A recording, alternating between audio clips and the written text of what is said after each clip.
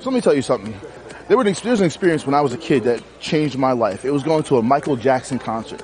And during that concert, there was a screen that came down and it said bad.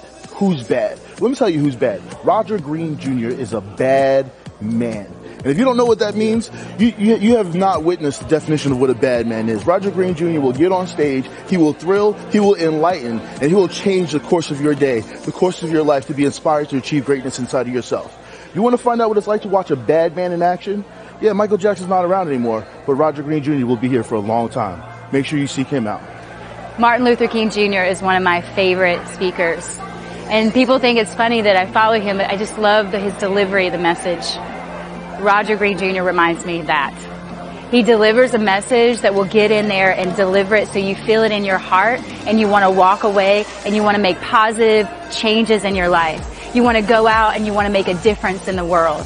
If you want that kind of speaker, Roger Green Jr., he's there for you. You have something special. You have greatness within you. Are you thinking about an event that you can have and bring in a speaker that can take it to that next level? That will make you look good.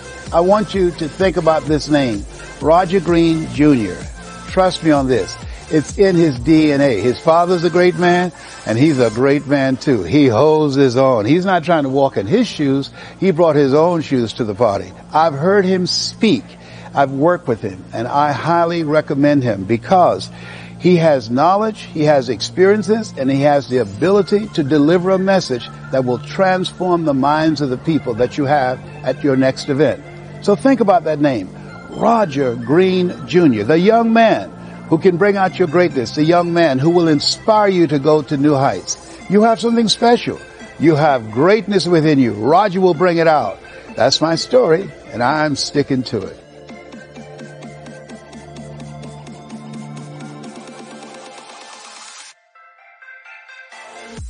Thank